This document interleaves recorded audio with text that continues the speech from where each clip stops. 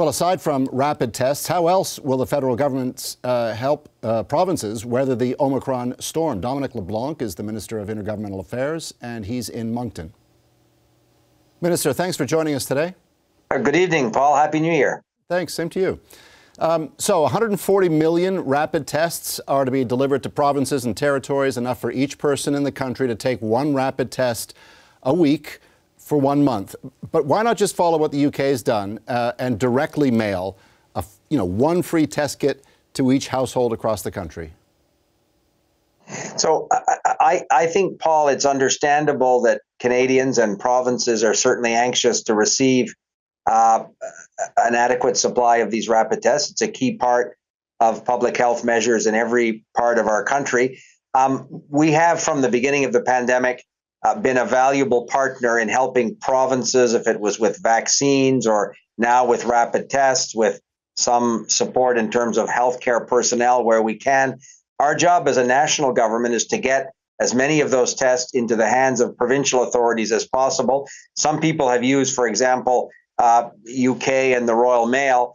One of the challenges we have a different climate uh, than the United Kingdom, and it's not clear that Canada Post leaving in people's mailboxes at minus 30 on the prairies, rapid test. It, it's not as simple as some have pretended. Uh, we think the most effective way and the most secure way to ensure Canadians have access to those tests is to do what we've done since the beginning of the pandemic is get them in the hands of provincial authorities who are competent in terms of administering or distributing them to the populations in their jurisdiction. That in our view, is the most effective way we can we can collaborate with provinces. Meanwhile, today we heard uh, Dr. Tam talking about the challenges around uh, the results from these rapid tests. I mean, how useful is it to have all these tests when medical professionals are saying results from a test is good for maybe 8 to 12 hours and then, you know, they appear to be not as sensitive, at least when it comes to Omicron?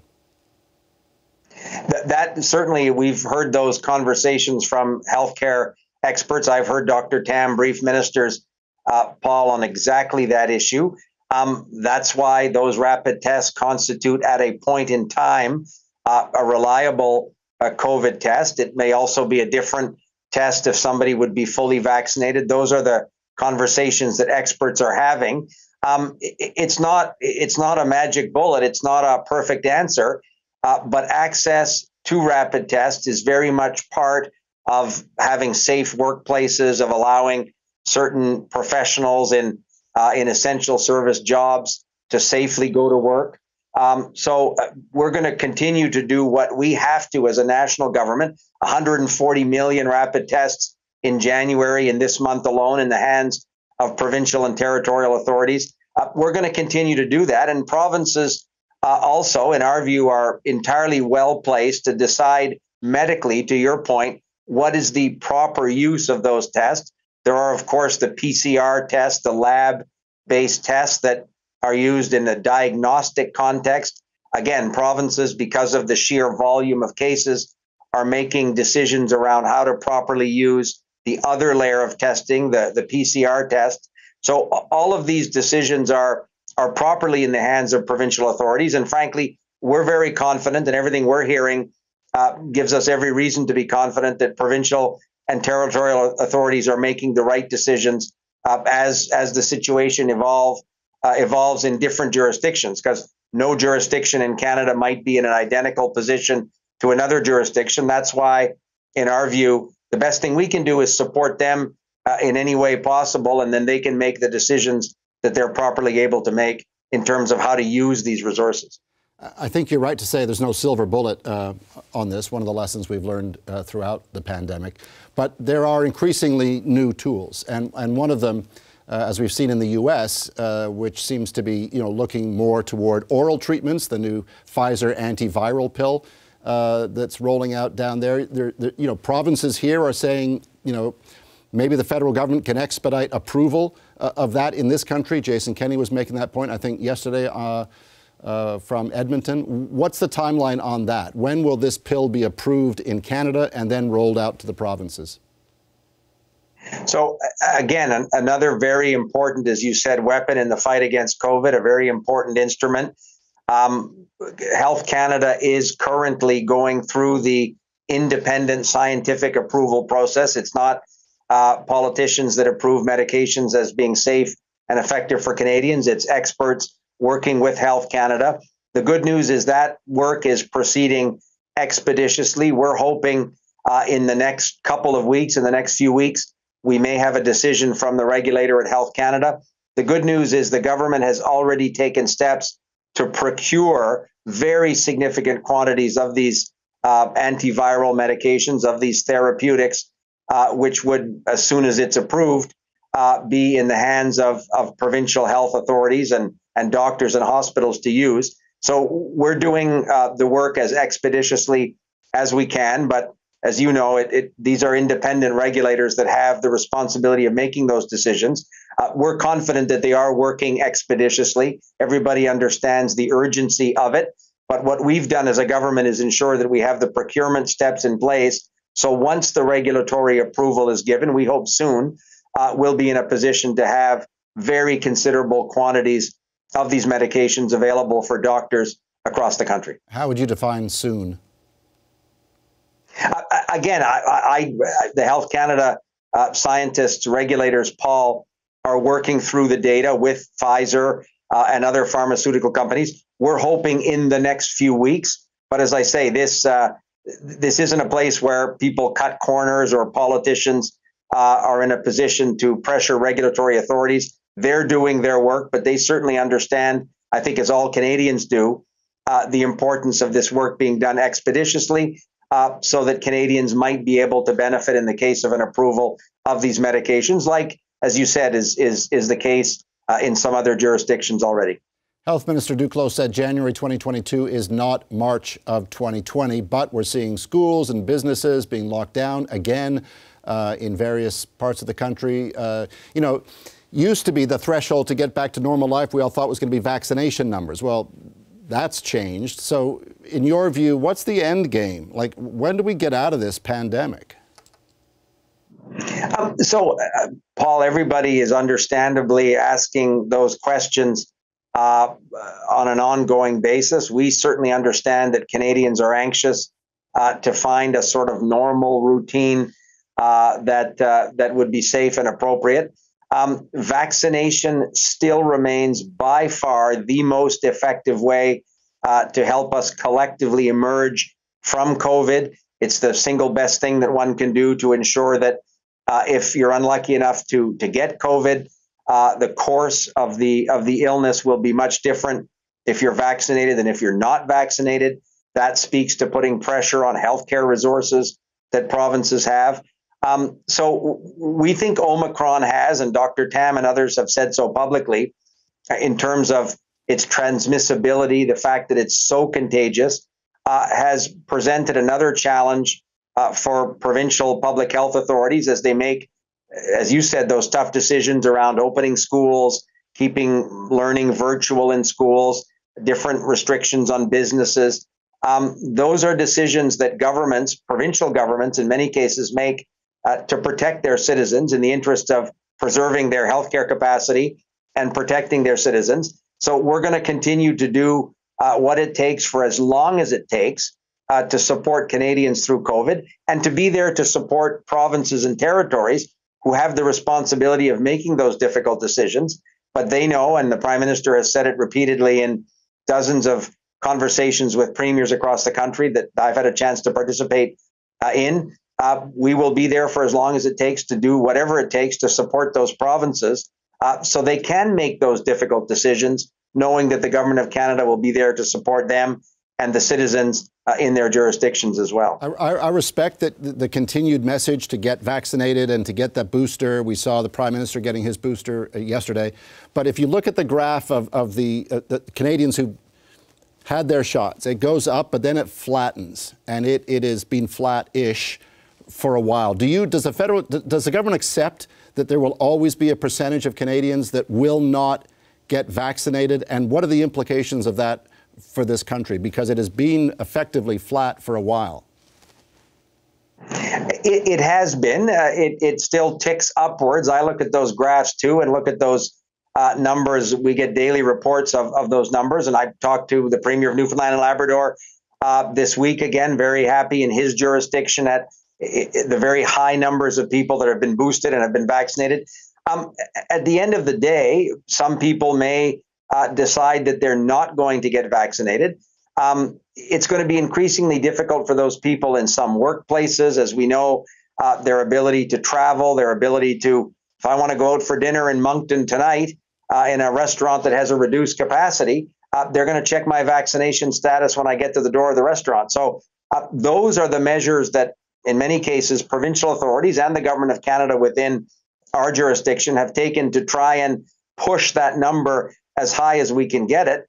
Uh, but at the end of the day, people have, in our view, Paul, a collective responsibility to think of those persons that perhaps have compromised immune systems, those elderly people that may be less able uh, to resist a particular virus.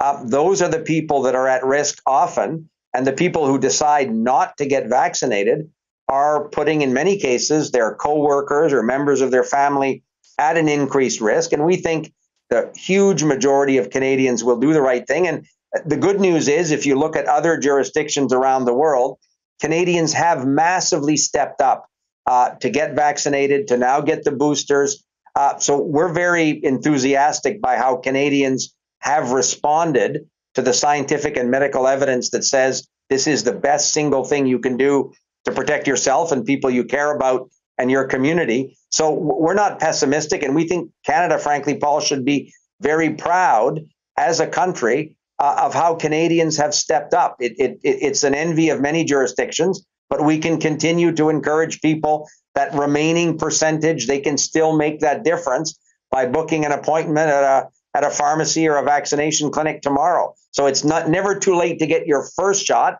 and it certainly is the time to get your booster. All right. We'll leave it at that for now. Um, thank you, Minister. Appreciate your time. Well, thanks for having me on the program. For more on this, Dr. Allison McGeer is an infectious disease physician and a senior clinician scientist at Sinai Health System. She's in Toronto. Dr. McGeer, thanks for joining us today. Nice to talk to you, Paul. Um, so, the federal government sending uh, 140 million rapid tests to the provinces and territories this month. What are your thoughts on that? Good move? Yes, I think so. You know, we, we we do need to be careful. I think not to become too dependent on rapid tests, but layered on top of all the other things we're doing, I, I, they have the potential to help. Are, are they reliable with Omicron? Um, Dr. Tam was noting today that essentially uh, the data is still coming in, but you know some rapid tests can pick it up. But that said, she noted the pace of ineffectivity um, is faster, i.e., you could test negative in the morning, but that doesn't mean you'll be negative later on. So, how does, I mean, I'm confused. Does this complicate things? Well, yeah, you know, it's not simple, and and you're right. It takes some time. You know, with a new variant, it it it takes some time for people to put the data together to understand what shedding of Omicron looks like over time and uh, how that's related to transmission in households. I think it's it's not unreasonable for the moment um, to make the assumption that there's not going to be a dramatic change um, in the the the value of rapid tests for Omicron as compared to previous variants is something that we need to be keeping our eyes on for sure um, for the next period of time. Uh, but you know, rapid tests are by their nature complex. There's different types of rapid tests. Um, they have somewhat different performance characteristics. Some of them are more prone to problems with user error from people who are not used to using them than others.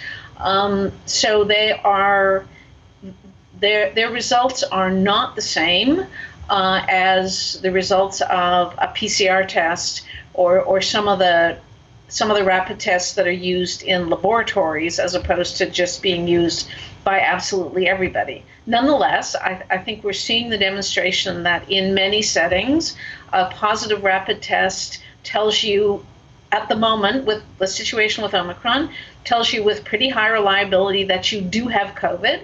And to the extent that people getting positive rapid tests may be more likely to self isolate and to stay away from other people, that's probably going to help us with reducing transmission of Omicron. Negative tests, you know, cut both ways. They they increase the probability that you're not shedding virus at the moment, but of course there can be false negative tests, right? You can't have a negative test and say, oh, I know I'm not infected at the moment. Um, and as you pointed out, they also, you know, it's a test in the moment. So they don't tell you what your shedding is going to be like two hours from now, or six hours from now, or eight hours from now. Um, so as long as we're using negative tests and understanding, you know, what they're helping us with and not using them as a as a passport to, you know, do what we might like, um, then then they are of value. So a positive is a positive. A negative is perhaps negative, but you don't know for sure. Yep. So am I right in thinking, in a sense, what what the value of the rapid tests are? Besides, obviously, there's value w- when you can say that you're positive because you can take action. But the, the, the, rest of the value is it kind of mitigates, in a sense, the, the, the danger you might uh, present because you might have it. Is, is that right? Like you, you can act, you, you, can't act with certainty, but I don't know. That, that's where it gets complicated. You know, and I think that's that's the problem for a lot of people when they're confronted with rapid tests now because we're hearing about it all the time. That what does it mean when you get a negative? Well, you know, what it means is that there is a reasonable probability, not absolute, but reasonable probability that you're not shedding virus at this point in time. So that the places that people are talking about using them are things like, um, you know, we know that um, there's a very high risk of transmission of COVID in long term care homes.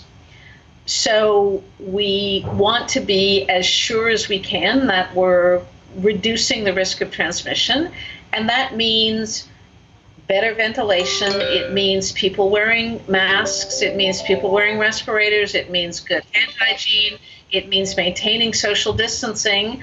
Um, but I think in general, we have agreed that there are circumstances where it, it also helps to have people coming in test negative for COVID when they come in. Okay, not again, not as a be all and end all, but it's just one more step in the, the probability, um, one more way of slightly reducing the exposure of long-term care homes to um, to this virus. Yeah, yeah, and I think that's what I meant by mitigating. That's a good way to put it. Yeah. Actually, it's like physical distancing doesn't mean you won't get it, but it helps. Masks don't mean you won't get it, but they help.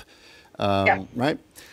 so, we, so the federal government is giving enough tests for one test per person per week for the month of January. It, it, is that number enough? Is that adequate? I, you know, I, I, I, honestly don't know. You know, we haven't been through, um, you know, exactly what we should be using them for and, and how we're using them. And I think there's there's not a lot of data about their relative benefits. Um, you know, depends on which test you're using it and how you're using it. So we're really counting at the moment on expert opinion about where they're most likely to be useful. Um, and I think that expert opinion is is quite varied in different parts of the country. Um, what they're supplying is probably more than enough for what uh, the, the guidance in some places in Canada and, and maybe not enough for the guidance in other places in Canada. And none of us know with certainty what's right. Does that mean they should be distributed I don't know if unevenly is the right word in, within provinces. Uh, like, uh, how, how should the rollout go in provinces in your view? Because I don't think we know details on that yet. Well, I, I, I, you know, I think it's up to the provinces to to think about how they're being used within their province and to request them. And at the moment, public health guidance on using these tests is significantly different in different provinces. And you know, this is life in Canada, right? We are we are not the same coast to coast to coast. Um, and so, yes, I would think it would be logical for the government to be talking to the provinces about how they're planning to use the tests and, and what they think their needs are. Life in Canada and, and life during COVID, an ever evolving uh, challenge. Um, yep. Thank you for your time, Dr. McGeer. Thank you. Pleasure. Take care. Bye bye.